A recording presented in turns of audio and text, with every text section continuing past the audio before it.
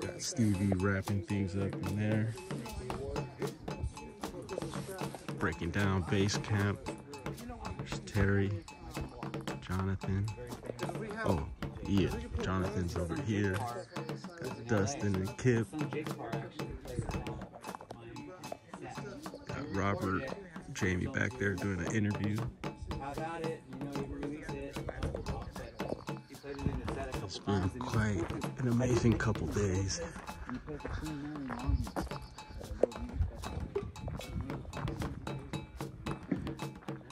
This is uh, where you ascend down to Bluff Creek.